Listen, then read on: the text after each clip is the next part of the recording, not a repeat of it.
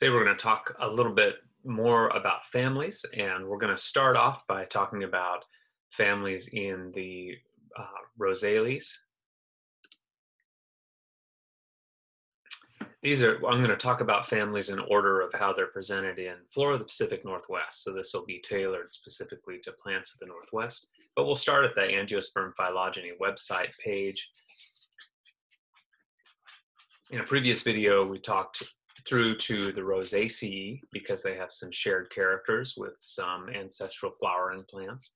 Um, and there's some other important families for Northwest shrubs in particular that are represented in this tree in the Rosales, the Rhamnaceae and the Elaeagnaceae, then the Ulmaceae, uh, Cannabaceae, uh, Moraceae, and Urticaceae. Those are all really interesting families for us. Let's start with Elaeagnaceae the angiosperm phylogeny group gives us a lot of information in text, including a floral formula that tells us something about uh, how uh, these families work um, or what their, how their uh, flowers are structured. Um, these are worth digging into if you're new to that. I'm going to click over to the Burke herbarium uh, family list. Uh, because I find for the Northwest, this is a really nice reference to combine with what you find in flora of the Pacific Northwest. Let's go to Elaeagnaceae and uh, talk about a few interesting members of this family. One common on the member of the family on the east side that you may be familiar with is Russian olive. Russian olive is an invasive plant that grows especially um, in watercourses in on the east side of the Cascades in eastern Washington. Um, a really important important species in terms of being an invasive that can dominate riparian areas. And it's in the Elaeagnaceae, it's uh, Elaeagnus angustifolia. Um, sometimes folks are more uh, familiar with uh, canadensis. This is an interesting um, species. It's a species that you'll often find in more dry environments. You can find it up at the north end of the Olympic Peninsula, on um, the islands and then throughout eastern Washington. This species is nice to focus on for Elaeagnaceae because it has a characteristic that is common in the Elaeagnaceae, which is the presence of lepidote scales. And so these are these little scales that are occurring along the stem, um, which is very typical of many plants in, um, in this group.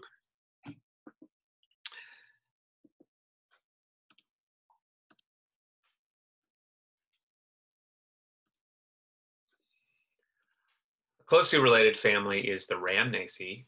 Um, Rhamnaceae are very important shrubs. Um, again, important shrubs, especially on the east side for us uh, here in the Pacific Northwest.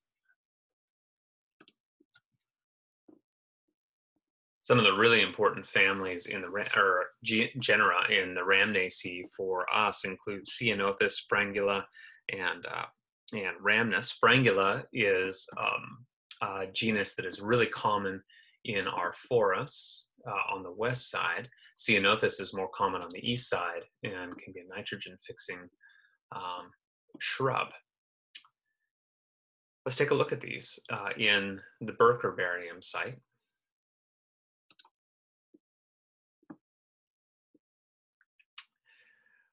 Within our region, we generally have three genera. We've got about eight species, and um, that's that's enough to um, keep you busy thinking about the Rhamnaceae, but it's a small enough number that you can know all these species um, relatively well, especially because there are just a few of them that are really common.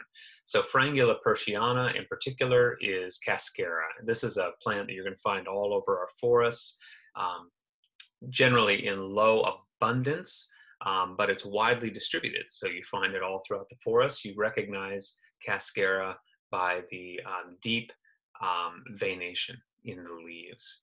It, uh, very obvious. The flowers are very nondescript, but really very beautiful when you uh, take a close look at them. Um, so it's worth taking the time to go uh, find some cascara flowers as they begin to bloom, which should be happening in early spring. Ceanothus velutinus is probably our most common uh, ceanothus that you'll find on the east side and occasionally here on the west side in dry patches. Um, so you'll see it sometimes in the rain shadow of the Olympics, uh, but more commonly you'll find it on the east side. A really important shrub species uh, for the east side and known to be a nitrogen fixer. There are a number of other species of Ceanothus that are less common, uh, but you can also find them around our region and they're worth your attention.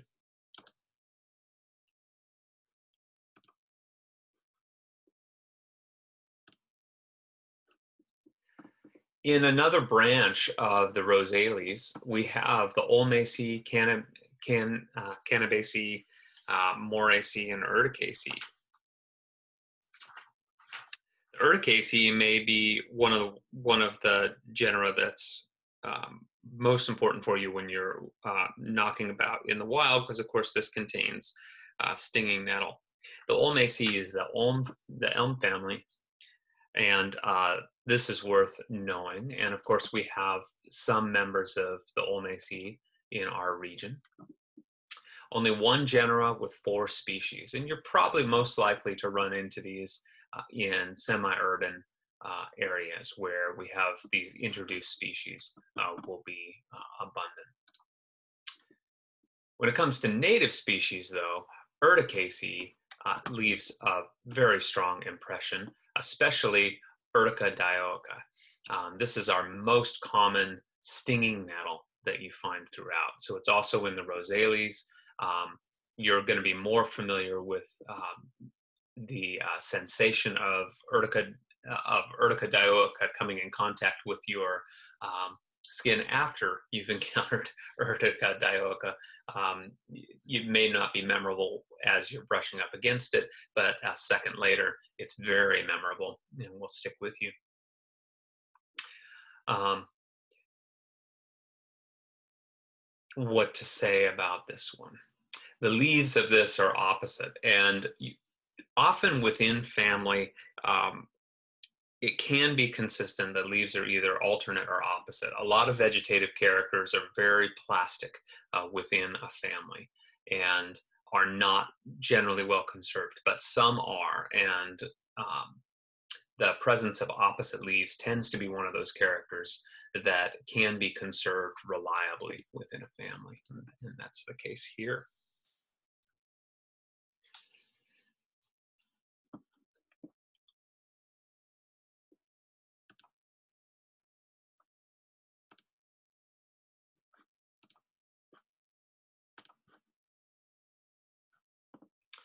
All right. Um, the cannabaceae, of course, um, we do have naturalized cannabis um, that can that can grow. It, cannabaceae is uh, within the rosales, um, so it may be important for you to um, know that one in case you run into it out in the field.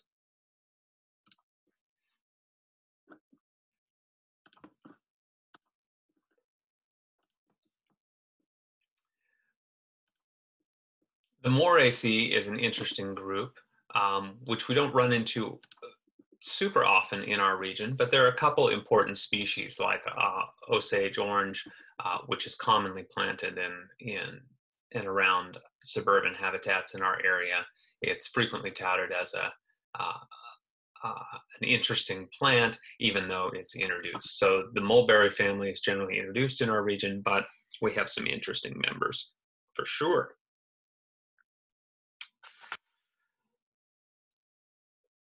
Okay, and with that, we will um, move out of the Rosales and into um, our next branch and uh, our, our next group of families in Flora of, the Pacific Northwest. The two most important next families that we'll come in contact with, or three, are all major tree um, families. We'll uh, talk about the Fagaceae, the Juglandaceae and the Betulaceae.